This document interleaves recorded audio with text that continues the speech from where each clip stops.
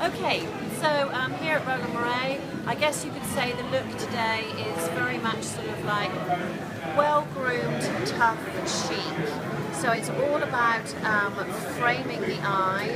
Um, we've got like this beautiful little slitty black line around the eye.